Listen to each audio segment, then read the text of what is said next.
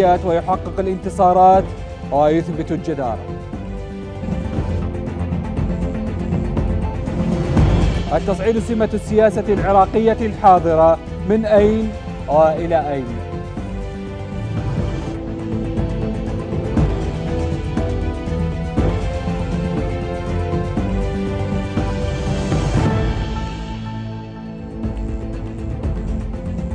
انتظم ملايين العراقيين وزائرين من أرجاء العالم في الكاظمية المقدسة لإحياء مراسم زيارة الإمام الكاظم عليه السلام.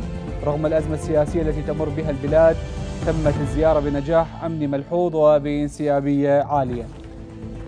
تجشم الجيش العراقي مهمة كبيرة في حفظ أمن زيارة الإمام الكاظم عليه السلام مقابل تحديات الموقف السياسي لكنه ما زال صامدا في جبهات القتال والمواجهات مستمرة على أكثر من محور مع داعش.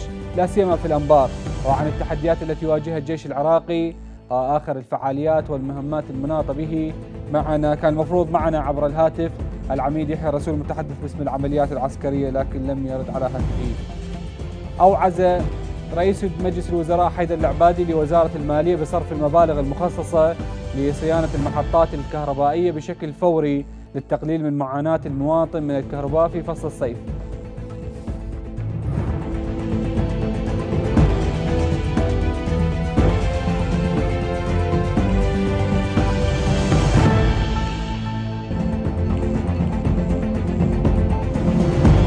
البشير بقبضة عراقية وداعش يلفظ أنفاسه الأخيرة بصواريخ الغاز.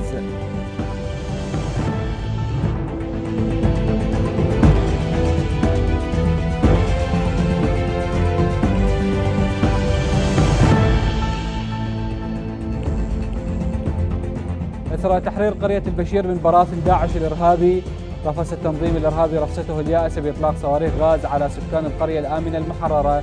وبذلت قوات الحج الشعبي بالتعاون مع قوات البيشمركة جهود استثنائية في تحرير القرية متجاوزين الأزمة التي حصلت بين الطرفين العراقيين في طوز خرمات تم قصف أحد سواترنا الأمامية لمدينة بشير بصواريخ كانت تحمل غاز الخردل. وطبعا هذه الصواريخ أو حتى لو ازدادت ما راح تأثر على معنوياتنا ولا على معنويات المقاتلين. سنتقدم إلى الأمام حتى نحمي هذه المدينة ونبعدها عن الصواريخ. والله بعد ما تحررت منطقة بشير المظلومة من قبل الدواعش الأنجاس جاي يضربون عينه صواريخ مال غاز الخردل والكلور. نفس ما عملوا قبل كم يوم هنا تدرون قناتكم كانت حاضرة. هسه جاي يضربون علينا وجاي يوصل وعندنا إصابات نقلوهم للمستشفي وإحنا جاي نشتغل يعني بالساتر من المجاهدين ننقل ونجيب مجاهدين ونودي. جاي ياثرون علينا بهاي الضربة. أعداء الإنسانية أعداء الضمير. خلي الدول تشوف خلي العالم يشوف. خلي كل واحد يدعم داعش خلي يشوف هذا الموقف. هاي تاز المنكوبة هاي بشير المنكوبة. وقع صاروخ كيميائي هنا يمنا بس ما انفجر دزينا على الهندسة يجيبه يجي يشيل الصاروخ. تمام الساعة الثالثة وعشر الثلاثة وعشر دقائق تقريبا تم استلام مركز صحي تازة عنصرين من الحشد الشعبي المقدس الذين أصيبوا بقنابل صاروخية في ناحية بشير والتي سقطت في السواتر الأمامية بعد تحرير الناحية من قبل الدواعش والله حسب معلوماتهم التي قالوها لنا بأنهم أصيبوا من غاز الكلور أو الخلد فكانوا يعانون من ضيق في التنفس وتقيؤ. مشاهدينا الكرام والاطلاع على كل التفاصيل ومجريات المعركة التي حصلت في قرية بشير ينضم معي هنا في الاستوديو السيد يلمز النجار قائد الحشد الشعبي في القاطع الشمالي. حياك الله سيد يلمز. تفضل.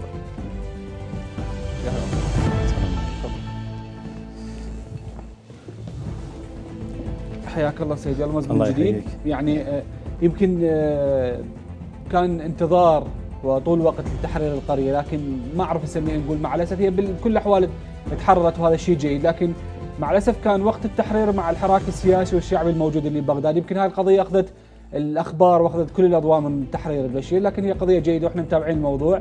نريد نعرف شنو اللي صار من اشترك بال بالتحرير أو المحاور اللي اشتركت بكل العملية. يلا. بسم الله الرحمن الرحيم. طبعا هذه العمليات اللي بدأت تقريبا قبل يومين. اشتركت في هذه العملية قوات ثلاث. فرقة العباس القتالية. والمتجحفلين مع الفرقة قوات البيشمركة والحشد الشعبي المتمثلة باللواء 16 طبعا التحالف كان لهم دور اللي كان يكون يذكر الحقائق. آه، العملية كانت على محاور ثلاثة. المحور الشمالي تم التحرك من قبل البيشمركة والدخول إلى مزارع الدولة والتوجه منها إلى البنفرج. هذا المحور الشمالي المحور الجنوبي تحرك من آه، ثل أحمد باتجاه مقام إمام رضا لقطع طريق يرغون بشير وهذه المهمة كانت على عاتق فرقة العباس هذا يعتبر طريق القتالية. أمداد بالنسبة لداعش طريق أمداد. طبعا قبل هاي العمليات كانت هناك عمليات أخرى قامت بها فرقة العباس بالتنسيق مع آه، آه، لواء 16 آه، الإحاطة بالمدينة. المهمة للواء 16 آه، زين، بس الحشد الشعبي. كانت اقتحام المدينة. جيد لواء لواء 16 هو ضمن الحج الشعبي؟ نعم ضمن الحشد الشعبي. هسه هاي المسميات الألوية بالأرقام هي ضمن الهيئة لكن هو شنو نعم هو اللواء. تسميتنا إحنا لواء 16 قوة التركمان للحشد أها، الشعبي. جيد. طبعا. آه هذا آه هذه المحاور تقريبا أنجزت أعمالها في اليوم الأول. فرقة العباس آه حققت الهدف ووصلت إلى مقام إمام الرضا تقريبا منتصف النهار. والبيشمركه دخلوا إلى مزارع الدولة عن منتصف النهار. التقدم على المفرج آه، يمكن تأخر ليوم الثاني لكن آه، نحن واجبنا كان اقتحام المدينة لواء 16 عجل الشعبي. لم ننتظر اليوم الثاني بل ساعة آه، خامسة عصرا بدأنا حسب الخطة اللي كانت مرسومة لقواتنا بالدخول من محورين إلى المدينة. جي- جيد. هذا هو- تحقق إذا سمحت لي وهذا سؤالي ليش التركيز على الشمالي والجنوبي والشرقي والغربي؟ شنو الدور اللي كان موجود بهم؟ يعني هو إحاطة وإكمال الإحاطة للمدينة واقتحامها بعد ذلك. آه، دخل ساعة خمسة ونص تقريبا ساعة بالستة وصلت مجاميع من عندنا إلى داخل المدينة ورفعوا علم العراقي من الجانب الثاني مجاميع من فرقة العباس كذلك إلى وبيشمركة دخلوا إلى المعامرة. جيد. هسه انت ذكرت تفضل. نعم. آه، ساعة بعد السابعة آه، أنا والأخ آمر اللواء الأخ أبو ثائر أخذنا مجموعة 30 نفر آه، من الحشد الشعبي دخلناهم من يم المعامرة إلى داخل المدينة. إذا تقريبا ربع المدينة صارت بيدنا والليل. انتظرنا الليل إلى الصباح الباكر ثاني يوم ساعة خمسة ونص تحركنا الأخوة البيشمركة احتلوا المنفرج وإحنا كملنا آه، الاقتحام اقتحام المدينة. اللي حصل في هذه العمليات أنا أقول هي كانت ربما إشارة ورسالة نحن بعثناها. توحدنا في قضية بشير وهذا الانسجام أدى إلى سرعة العمل اللي كان ننتظره و... راح ارجع على هالموضوع على اعتبار إنه الموضوع يحتاج تفصيل نعم أكثر. نعم. لكن أنت ذكرت إنه آه، اللواء 16 وفرقة العباس القتالية ضمن تشكيلات الحج الشعبي والبيشمركه دور ال- وزارة الداخلية ووزارة الدفاع أقصد يعني الشرطة الاتحادية والجيش العراقي. آه، الشرطة الاتحادية ما كانوا موجودين بس الشرطة المحلية نعم ساهمت معنا وشكر تقدير لهم يعني بعد تحرير بشير ثاني يوم تم فتح المركز وأخذوا مواقعهم بالنسبة إلى فرقة العباس قسم من عندهم في الحشد الشعبي قسم من عندهم تابعين للعتبات طبعا إيه. يعني. هم جاءوا إلى منطقة آه، بإمكانيات ضخمة جدا وكان تأثيرهم في هذه العمليات والعمليات السابقة كانت مشهودة لهم ونشكرهم ونشكر جميع اللي شاركوا في تحرير. الوضع المدني بالقرية كان أكو بها مدنيين لو ما لا لا لا, لا ما كان لا يوجد أي مدني في المدينة. زين. آه، كما ذكرتم في تقريركم يعني قبل سنتين صار لنا هاي المدينة مغتصبه ومنكوبه الآن رجعت إلى أحضان آه، العراق إن شاء الله. ونأمل في الأيام القادمة ستكون هناك عمليات حتى ندفع شر آه، الدواعش عن هذه المدينة وقصفها. وتقريركم ذكر بأنه تم قصف المدينة بارحة. آه، هم راح ارجع على هالموضوع نعم. لكن خليني بالجزئيات أنا حتى أنتقل نعم، بالجزئيات نعم. آه، صار اكو مسيطرين على المناطق المحيطة بالبشير ما أعرف الرقعة الجغرافية اللي موجودة بها. أكو قرى بعد من ضمن هاي القرى المحيطة بها هي بيد داعش. ممكن أن تواجهكم مشكلة بالتقدم على كل القرى الموجودة. قطعا يعني العدو الآن يستقر في شومان وكذلك يتواجد في تل الجول. آه، والمناطق رشاد والرياض العمليات القادمة ستستهدف هذه المناطق لتحريرها بالكامل من دنس الدواعش. جيد. آه، ما أعرف راح. آه، ممكن البعض يقول تواجهكم مشكلة بمسك الأرض. بهاي بهاي المناطق على اعتبار إنه تحتاجون قواتكم تحتاج التنقل مثل البيشمركه اكو تنسيق مع الشرطة الاتحادية مع الجيش العراقي. أنتم عندكم إمكانية مسك الأرض بهاي المناطق؟ ما أعرف الصورة شلون. آه، طبعا أنا أوضح بأنه بعد حتى آه، بيشمركه بعد ما ساعدونا إجوا من جانب الشمالي انسحبوا إلى مواقعهم. الآن آه، قوات أفواج لواء 16 حشد الشعبي هم يمسكون الأرض. فرقة العباس القتالية وفرقه إمام علي والآخرين اللي معهم من العتبات ظلوا معنا يساعدونا في مسك الأرض. الآن ما عندنا أي مشكلة في مسك الأرض. السواتر تم إكمالها بالتمام والخنادق تقريبا أنجزناها زين بارحة لليل وحتى المواقع تقدمنا إلى الأمام ما نعاني من أي مشكلة. المدينة كذلك تطهرت. مع الأسف آه، ربما ما أدري الإعلام ركز على هذا الجانب أو لأنه الاعلام مشغول في قضايا أخرى. يعني قلت الأسف المدينة- قضية صار نعم، صار محور نعم. مهم. فصار اللي جذب الأضواء أنتم هي مراسلكم مراسل الرشيد يعني هاي مشكورة لكم يعني. كان يتواجد في أصعب الظروف. حتى في القتال يعني أنا أحيانا كنت أقول له أنت تأخر شوي يعني القتال موجود هو جاي يصورنا شاف المدينة المدينة مدمرة ربما 90% يعني ما آه، يمكن يتحدث عن اعاده اهلها بهاي الفترة المقبلة إعادة اللي نزحوا من عندها اللي خرجوا لأهاليها. يعني الآن هي ضمن منطقة العمليات. فلازم آه، نقوم بعمليات أخرى نندفع إلى الأمام أكثر حتى الأهالي يرجعون. آه، بارحة صار حراك يعني وحديث مع المحافظ حضر إلى تازا خرماتو آه، أوعدنا بإعادة الكهرباء والماء مجاري وفعلا ثاني يوم من الصباح الباكر آه، مهندس يالتون آه، هو مدير إدارة كهرباء كركوك وعدنا خلال يومين أو ثلاث أيام إن شاء الله الكهرباء سيرجع إلى المدينة والماء مجاري إجوا كذلك زاروا شافوا الدمار الموجود. إن شاء الله جيد عدد. القرى التركمانية الباقية تحت سيطرة داعش؟ الآن في هذه المناطق بعد ما ماكو قرية تركمانية ت- تحت احتلال داعش. تم تحرير هذه المناطق كلها.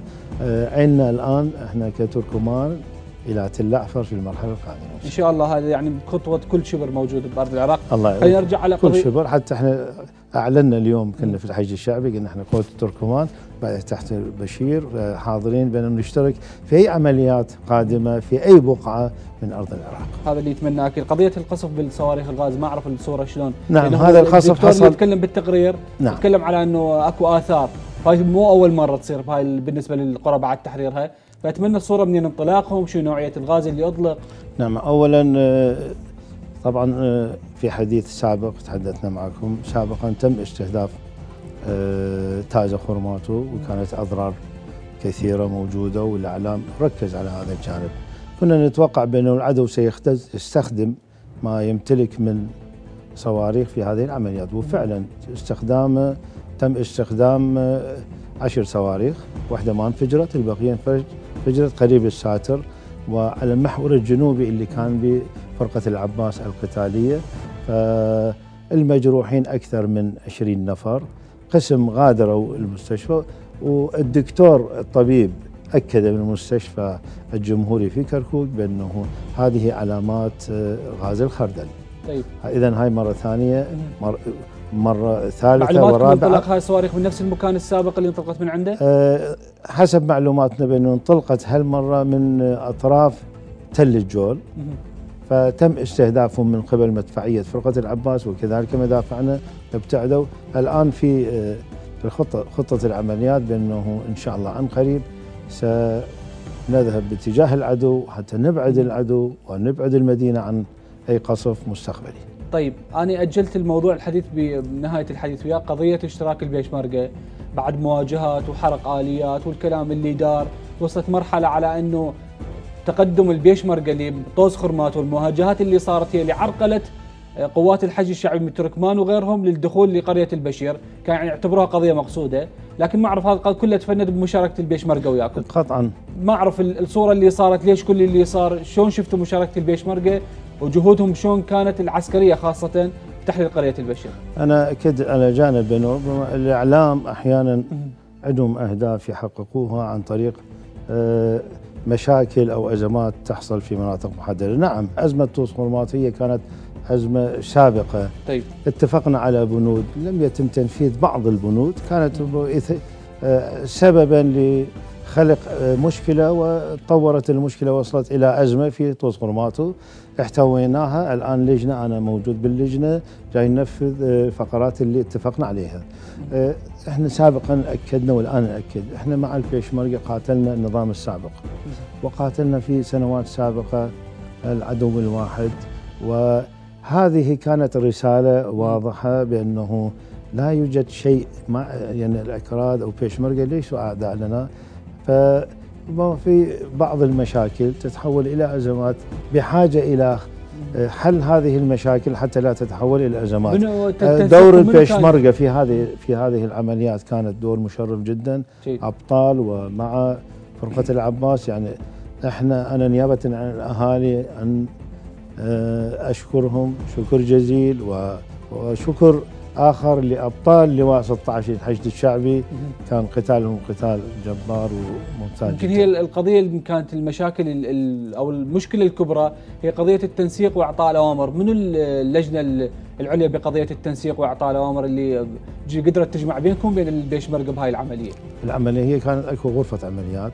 الشيخ ميثم موجود الشيخ جعفر آخرين نحن موجودين. أبو ثائر آمر اللواء. موجود. هي كانت هناك تنسيق المحاور أكو غرف عمليات. فرقة العباس ما شاء الله عندهم إمكانيات. حتى كنا في غرفة عملياتهم آه، عندهم تصوير عالي نشاهد المنطقة.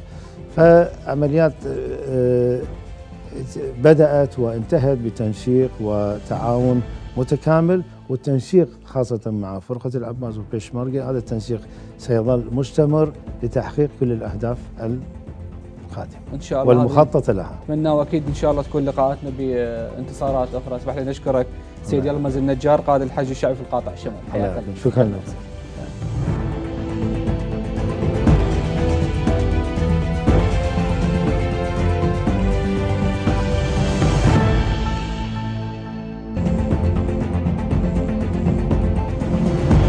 مصادر محلية في استخدام شركات أمنية لحماية المنطقة الخضراء. التصعيد السياسي سمة عراقية حاذرة. من أين يأتي وإلى أين يقود البلاد؟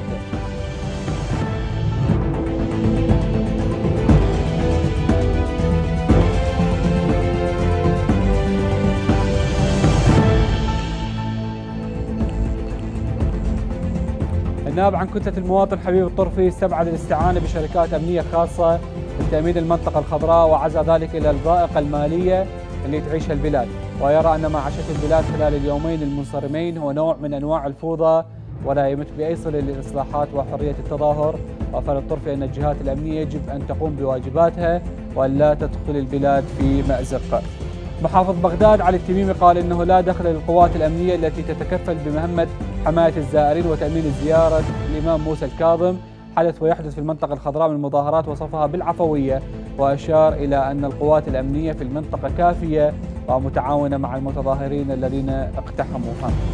تواجه الحكومة تحديات ليست بالسهلة بين تجاذبات السياسة والخدمات والأمن.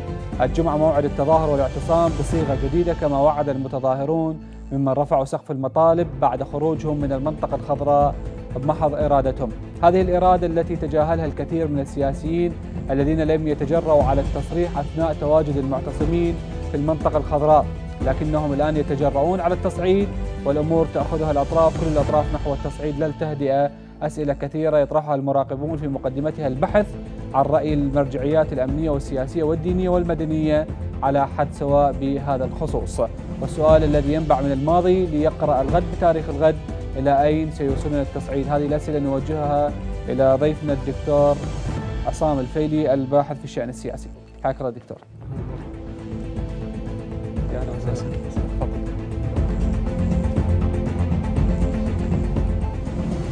حياك الله دكتور عصام من جديد. يعني اللي اللي جرى من حراك شعبي سياسي ممكن أن يندرج ضمن الخطوات الديمقراطية ممكن نعطي هاي الصفة. يعني أو نتفهم على هذا النطاق نطاق الحريات الديمقراطية اللي دائما نخليها عنوان للعراق الجديد نتحدث به بعد 2003 يعني أستاذ هارون بالبداية تحية لك حياك. ولكل المشاهدين الكرام، أعتقد ربما أننا لم نالف أي شكل من اشكال الممارسات في هذا الإطار. دعني أقول في البدء آه، اولا أن ما جرى هو نتاج دعني أقول شحنات عاطفية من جماهير سبقتها جملة من التحذيرات للطبقة السياسية متمثلة لضرورة الذهاب إلى تشكيل حكومة تكنوقراط ولكن إصرار أكثر من طرف في بادئ الأمر كان في يوم الثلاثاء تم التصويت على ست آه، وزراء وإضافة إلى أبقاء السيد رئيس مجلس النواب العراقي في مكانه كان الجماهير تأمل أن تعقبها خطوة بعد أن كان هنالك جملة من الاعتراضات. ولكن الجماهير حينما أحست أن هنالك بعض التصريحات السياسية، هناك من كان يقول أنا لست على استعداد أن أقصي وزرائي لأن هؤلاء أيضا مثل التكنوقراط ولكن سياسيين. وهنالك من ذهب باتجاه عدم إكمال النصاب. وجدوا بشكل من اشكال ال- دعني أسميه آه، المماطلة والتمويه بما معناه إقبار المشروع. لذلك ضمن هذا الإطار تحركت الجماهير. هنالك سابقه قبل هذا وذاك حينما آه، القوات المسلحة العراقية اليوم لم تعد جزءا أو أداة قمعية بيد النظام السياسي، اليوم هي جزء من المواطن وبالتالي هي جزء من معاناة المواطن وهي تخشى أن تذهب إلى حافات الصدام مع المواطنين. جيد دكتور هو هذا بدنا نعطيه إحنا. يعني ما أعرف بين الصورتين الصورة الأولى تقول إنه صارت حالة من الفوضى كان ما ممكن إنه للمتظاهرين يقتحمون المنطقة الخضراء بهاي الطريقة. بالمقابل ممكن البعض فسرها على أنه نتيجة حتمية لكل الكبوات والنكسات اللي مرت بها البلاد اقتصادية سياسية أمنية. بالتالي الصورة الأقرب للتفسير. ممكن كان يقول ما يطبون هاي الطريقة بالمنطقة الخضراء كانت طريقة صعبة. رمز الدولة العراقيه نتحدث عن رمز وسياده نعم. يعني اولا إذا نتحدث نحن عن الرمز والسيادة أعتقد في هذا الإطار اولا لم تكن هنالك إطلاق طلقة واحدة أو أي عيار ناري. هم دخلوا بطريقة دعني أسميه التسونامي البشري وهذا التسونامي البشري دائما يحرك العقل الجمعي. على هذا الأساس أقول أن بس الوا- كان اكو ضرب للنواب تكسير سياراتهم؟ اولا أنا أقولها بصراحة أنا ضد إهانة أي مسؤول عراقي أو أي نائب عراقي مهما كان. أنا أقول أن الذي أسس إلى هذه الإساءة هم النواب أنفسهم. لا يعقل اليوم أن نائب أو مسؤول في البرلمان يرمي رئيس الوزراء بعلب المناديل الفارغ، هذه معيبة. ولا يعقل أن يرميه في القناني الفارغه حتى لرئيس مجلس النواب ولا رئيس مجلس الوزراء، أنا أريد أن أسأل الجميع الذين رموا رئيس الوزراء، هل كنتم تتجرؤون أن ترمون رؤساء كتلكم بهذه الممارسات؟ اذا أنتم من أسستم إلى ثقافة عدم احترام الرمزية وعدم احترام الخصوصية. إضافة إلى كل هذا الطريقة المهينه تعرض لها عدد من النواب سواء كان نواب العرب أو الأكراد أنا أرفضها جملة وتفصيلا. وبالتالي حتى التيار الصدري قال بصراحة نحن وحتى السيد مقتدى الصدر رفض هذه الفكرة ال- نواب كتلة الأحرار يعني بعض التسريبات الخبرية يقول قدموا اعتذار إلى بعض الجهات ضمن هذا الإطار أقول أن في العقل الجمعي تتعطل كثير من المفاهيم القيمية زين. وبالتالي تندفع الناس بعواطفها وفوق تراكمات وأنا لا أستبعد أن يكون هنالك اختراقات من قبل بعض الأشخاص في هذا الإطار. زين إذا ما اعتبرنا هذا تصعيد ممكن لها تصعيد بالواقع السياسي اللي موجود عندنا يعني تكون نتائجه واضحة على العراق بالأيام المقبلة؟ يعني اولا دعني أقول أن هذا التصعيد هو أتى بناء بعد استقراء الم- المعتصمين أن العطلة البرلمانية ستبدأ لمدة شهرين. كان من المقرر أن تبدأ في بداية شهر الخامس وتنتهي في بداية شهر السابع. واحد خمسة لواحد سبعة. نعم. ضمن هذا الإطار أستاذ هارون وجد المعتصمين أنفسهم في موقف حرج. يعني لذلك حينما لم يكن هنالك إكمال للنصاب وجدوه عملية دعني أسميه تسويب على هذا الأساس ذهبوا بهذا الاتجاه. النقطة الأهم من كل لا هذا دكتور النقطة الأهم خليني أنا أسولف لك عن النقطة الأهم. أنت هسه أعطيت صفة الوعي والإدراك الكامل لدى المتظاهرين ولغيت صفة وجود القيادات اللي ممكن تحركهم. يعني تتخيل إنه ممكن يتحرك المتظاهرين والمعتصمين على أساس إنه يدرون أكو عطلة راح تصير من واحد خمسة لواحد سبعة. يعني بصراحة متابعين للشأن السياسي يمكن ما يدري بها يدري بها المتظاهر؟ يعني اولا دعني أقول بكل صراحة، اولا المتظاهرين عده فئات، فئة هي تمتاز بوعي سياسي. وواضحة المعالم، آه، فئة الأخرى مندفعة بعواطفها، ولكن في المجمل في المجمل أنا أعتقد كانت هنالك مخاوف من هذا الاتجاه. ولكن أقول أن الذي يتحمل المسؤولية كل القوى السياسية العراقية، لماذا؟ كان الاحرى بهم أن يكونوا واضحين ويذهبون إلى المطبخ السياسي يعدون صيغة إكمال الحكومة وبالتالي لا يضعون أنفسهم في حرج ولا المتظاهرين وبالتالي يحافظون على هيبة الدولة العراقية. طيب بكل هذا اللي جرى من قضية دخول المتظاهرين قضية الدخول للبرلمان الانسحاب لساحه الاعتصام الاحتفالات والاعتصام اللي صار بها البعض فسر على أنه وجود اتفاق سياسي بين اطراف معينة. ونروح أبعد البعض قال إنه رئيس الوزراء أعطاهم أمر للاستفاده من المد الصدري اللي موجود والاستفاده بتهديد الخصوم. ممكن يكون هذا التفسير واقع بهاي المرحلة؟ يعني هنا أتحدث بصراحة. يعني كانت هنالك عبارات ان هناك من قال إن رئيس الوزراء ضعيف هنالك من قال إن رئيس الوزراء لم يكن حاسما في الأمر هنالك من قال إنه متفق. أنا أريد أن أسأل أتحدى أي مسؤول آخر بكى رئيس الوزراء؟ أن يستطيع أن يوجه الجيش العراقي بفتح نيران على المعتصمين. كلنا يعلم أنه في المرة الأولى قياده عمليه بغداد فتحت الباب. المرة الثانية حينما دخل السيد مقتدى الصدر السيد محمد رضا قبل يدم السيد الصدر في هذا الاتجاه. بقية الأطراف أنا أقول في هذا الإطار نحن مرينا بأزمة دعني أسميها وأزمة حانقة. ولكن المهم في هذه الأزمة أن الكل استفاد من هذا التجارب يعني هذه التجربة. اليوم لم يعد هنالك إمكانية اقتحام حقيقة لأنه السيد مقتدى الصدر بعد هذه الأزمة قال أنني ذاهب للاعتكاف وبالتالي هو لم يرضى على أي ممارسات من هذا الإطار. إضافة إلى كل هذا أن القوى السياسية في هذا الإطار عليها أن تذهب من أجل المعالجة. ما هي المعالجة؟ ربما تسأل ما هي المعالجة؟ أن يتم الدعوة إلى عقد اجتماع طارئ لمجلس النواب العراقي. إذا لم تكن تتهيأ الأوضاع اللوجستية في مجلس النواب العراقي بعد ما تعرض لهم التخريب والدمار عليهم أن يذهبوا إلى عقد جلسة قد يكون جلسة طارئة واحدة في برلمان اقليم كردستان وإكمال تشكيل الكابينة الوزارية لأن كما تعلم هنالك فوبيا خاصة لدى النواب في عدم الحضور في جلسات راح, راح أتكلم على هالموضوع. لكن كان مطالب المتظاهرين وحتى المطلب الأول بقضية انسحابهم من ساحة الاحتفالات هي قضية التصويت على كابينة وزارية. لكن هاي الجلسة ما راح تتحقق لأنه أكو اتحاد قوى علق مشاركته بجلسات البرلمان، الكرد ذهبوا إلى كردستان وقالوا ما نرجع إلا بضمانات، هسه ضمانات راح نتحدث عنها شنو نوع الضمانات اللي ممكن يحصلوها، بالتالي الجلسات ما راح تتحقق لأن هو أصلا أكو مشكلة بقضية النصاب، كيف؟ راح يتحقق النصاب وإحنا عندنا كرد زعلانين واتحاد قوى ماخذين على خاطرهم. يعني اولا أنا أقول في هذا الإطار الكل مخاوفهم مشروعة، الكل يعني في موضوع الخوف من العودة إلى بغداد أنا أعتقد هي حالة جدا طبيعية. يعني كما تعلم لأنه لا أحد يامن على حياته. وبالتالي ما تعرضوه له من لجمه أقولها بصراحة جعلتهم يعيدون الحسابات في هذا الإطار. لذلك ضمن هذا الإطار اليوم يجب أن يعمل المطبخ السياسي بصورة فاعلة. كل أعمدة الحكمة في العملية السياسية سواء كانت القيادات أنا أتحدث عن رؤساء كتل أتحدث عن شخصيات فاعلة هؤلاء يجب أن يذهبوا باجتماعات منكوكية في أقرب وقت ممكن. وبالتالي يخرجون بمحصلة ورؤية توافقية من أجل معالجة الأزمة. اليوم لا يمكن أن يبقى العراق والحياة معطلة. أقولها بصراحة في موضوع المعتصمين. اليوم حتى الموقف الدولي تجاه هذه الأحداث لا يرتضي دخول الأمم المتحدة على الخط اجتماعاتها مع الجانب الإيراني وإيران أعلنت أنها على استعداد لحل الأزمة. الولايات المتحدة الأمريكية أعلنت صراحة أنها تدعم السيد العبادي وهذه رسالة واضحة لكل القوى السياسية الذين يفكرون بتغيير السيد العبادي أن التغيير لا يمكن. لماذا؟ لأن كل القوى السياسية تقول نغير العبادي لكن من هو البديل؟ أنا أتحدى اليوم كتلة سياسية تقول استطاعت أن تجتمع ثلاث كتل من مجموع الكتل السياسية فيما بينهم هيئة البديل. لذلك ضمن هذا الإطار هو بكل هذا الحراك بقضية الطرح التغيير الوزاري وحتى يتعدل القضية إلى طرح تغيير رئيس مجلس الوزراء هذا الكلام منطقي وعمر الحكومة باقي له سنتين؟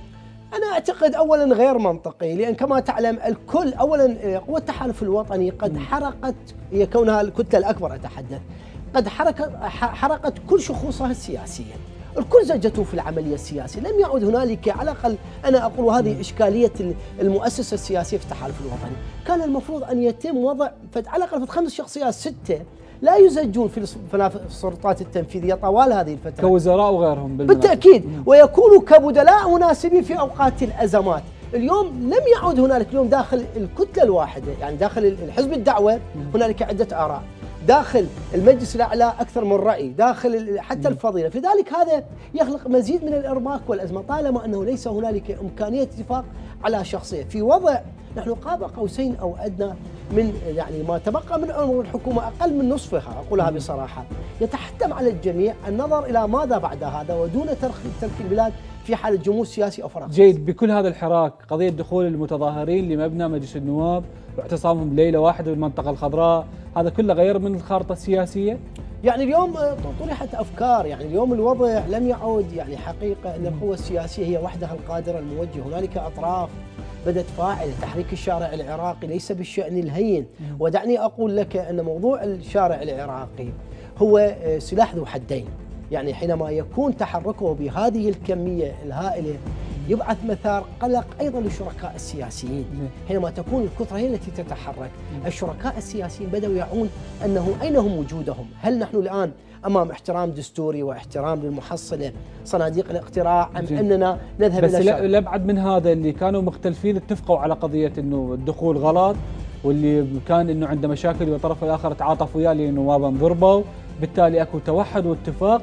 آه، التوحد والاتفاق هذا حتى صار حتى على رئيس الوزراء. اللي ما كان مقتنع بتغيير رئيس الوزراء اقتنع الآن لأنه اعتبره ضعيف بإدارة الملف لأنه تدري بعد هم دائما علمونا أن النار من توصل يومهم بعد كل شيء عندهم لازم يحرقوا. يعني أنا أقول في هذا الإطار اليوم موضوع ضعف رئيس الوزراء أو عدم ضعفه أنا أريد أن أسأل اي كل القيادات السياسية أريد أن يخرج على الملأ ويكون شجاع ويقول أنني اليوم رئيس كتلة سياسية لو خرج دخل المتظاهرون. هل أفتح أنا النار أو أعالجها؟ ما هي المعالجة التي يتم معالجتها؟ اليوم نتحدث عن ناس عزل ساقتهم العاطفة ساقتهم المعاناة. طوال إحنا نتحدث أستاذ هارون على مدى ما يقارب 13 عام والحديث عن مئات المليارات مهدوره وقوى سياسية متصارعة ومختلفة فيما بينها على توزيع السلطة. هل أنا أريد أن أسأل هل القوى السياسية التحالف الوطني على استعداد أن يسوق السيد سامي المظفر؟ كتكنوقراط شيعي وكان يشغل منصبا وزاريا بديلا للعبادي أنا أقول لك من هذا المكان كلا لأن أنا في أحضر في آه، لقاءات مع كبار الشخصيات وحينما تصل لنقطة ال- الفصل إلى موضوع السلطة الكل يقول لا هذا استحقاقنا نحن كم نملك من سلطة؟ صحيح. كم نملك من أعداد؟ فهذا استحقاق. شلون تشوف آه، تعليق اتحاد القوى وبقاء الكرد في كردستان على المشهد؟ شلون ممكن أن يتغير؟ شنو النتائج اللي راح نشوفها في- بالفترة المقبلة؟ يعني اولا في موضوع اتحاد القوى أنه حتى اتحاد القوى هو غير متفق فيما بينه بالمجمل. يعني دعني أقول هذه إشكالية القوى السياسية العراقية. نجد في كل آه، قوة سياسية هنالك عدة أفرع عدة آراء. بل أن هنالك مثلا طالب اليوم حتى تأكيد السيد النائب محمد تميمي أن هنالك من طالب بإقالة محمد تميمي اليوم مستوى الصراع داخل كتلة واحد. أما موضوع الكرد أعتقد أن الكرد في هذا الاتجاه كانت هنالك رأيين دعني أقول بصراحة يعني رأي الحزب الديمقراطي الكردستاني التزم الصمت. بحين أن آلاء طلباني وآرام الشيخ محمد الذين تعرضوا للضغط والمعاملة القاسية نجد تصريحاتهم كانت نارية في هذا الاتجاه. اليوم الموقف تحكمه يعني تحكمه المصالح تحكمه الرؤية ماذا بعد هذا. اليوم العراق يمر بأزمة ساخنة وأعتقد أن عطلة مجلس النواب هي التي حفزتهم لاتخاذ المواقف. المتصلبة. بالتالي ما أعرف م- آه، علنوا المتظاهرين قياداتهم إذا كان عن طريق التيار الصدري أو التيار المدني؟ علنوا عدة شروط بها تصعيدية؟ راح يكون هذا شفتين ما أعرف أكيد أنت طلعت عليه قضية التصويت المرحلة الثانية تغيير الرئاسات المرحلة الثالثة العصيان المدني واقتحام البقرات الرئاسات الثلاث. هذا التصعيد بمصلحة المتظاهرين خطواتهم ممكن أن تدفع الطرف الآخر للتصعيد أيضا والتعامل بقوة وياهم. يعني هذا اولا يأتي في إطار الضغوط التي تمارس، اليوم دعني أقول بصراحة أن الفاعل الأساس في هذا الإطار هو السيد مقتدى الصدر هو الذي يحرك الشارع. بصراحة نقولها ك- كمحصلة أكبر مع وجود قوى أخرى، صحيح. هذه مسألة. المسألة الأهم من كل هذا وذاك، أعتقد أن اعتزال السيد مقتدى الصدر واعتكافه يعني بعض المصادر تقول أنه وصل إلى- إلى إيران وبقي هناك، هذا أيضا ربما يكون في حالة تشاور مع مرشده الروحي السيد كاظم الحائري. وكما تعلم أن اليوم الوصول إلى حافات الصدام لا إيران تقبله ولا الولايات المتحدة الأمريكية تقبله، لماذا؟ لأن إيران لديها المشروع الشيعي الذي تحافظ عن شكل الحكومة كيف في إطارها العام شيعيا مع وجود شركاء. والولايات المتحدة الأمريكية أيضا تدعم السيد حيدر العبادي، ضمن هذا الإطار من الممكن أن يكون هنالك توافقات خاصة إذا ما علمنا أستاذ هارون، هنالك جزئية أساسية، نحن دائما تعودنا أن نرتضي بأنصاف الحلول الخارجية. أكثر ما ارتضاءنا بالحلول الكامله الداخليه جيد لكن دكتور ما أعرف خلينا هسه هذا الموضوع بعد أصلا واضح لكن خلينا ناخذه بافتراضية. المتظاهرين طلعوا وكانت هوساتهم واضحة إيران برا برا. بالتالي ورا يوما السيد مقتدى الصدر انباء عن توجهه إلى طهران. ماكو خلال ساعات كان أكو بيان لل للدكتور ضياء الأسدي الأمين العام لكتله الأحرار. هذا كله الحراك وقال نرفض هاي التصريحات. بالتالي لو ما طالع المعلومة على أنه السيد مقتدى الصدر وصل إلى طهران نعرف هذا التحرك بالتالي نقول إنه اللاعب من اللاعبين الرئيسيين إيران بالمنطقة هو بعده موجود وما ممكن إنه نتحدث عن ابتعاد أي لاعب رئيسي من الدول الإقليمية. يعني اولا أنا أقول هناك تسريبات حتى خبرية بأن السيد مقتدى الصدر رفض هذه التصريحات وبالتالي قال أن إيران كجارة صديقة مسلمة. وأنا أقول أن السياسة الخارجية للعراق لا ترسمها الانفعالات العاطفية. اليوم نحن بحاجة أن نقيم علاقات متوازنة مع إيران، مع تركيا وحتى أن نقيم علاقات متوازنة مع الولايات المتحدة الأمريكية، لأن هؤلاء لاعبين أساسيين، هنالك دول إقليمية لاعبة وهناك دول قوية يعني الولايات المتحدة وغيرها. ضمن هذا الإطار أقول أن هذا التصريح أعتقد وحتى موضوع ذهابه إلى طهران أتى لكي يضرب هذه التصريح ويعلن البراءة منها. لذلك أقول في هذا الإطار أن أن العقل الجمعي حينما سار ربما يكون هنالك أشخاص أرادوا أن يذهبوا بهذا الشحن الذي رفضه التيار الصدري. طيب اسمح لي أن أشكرك الدكتور عصام الفيلي الباحث في الشان السياسي شكرا لك ولحضرتك شكرا لكم مشاهدينا الكرام نشوفكم باكر مع السلامة.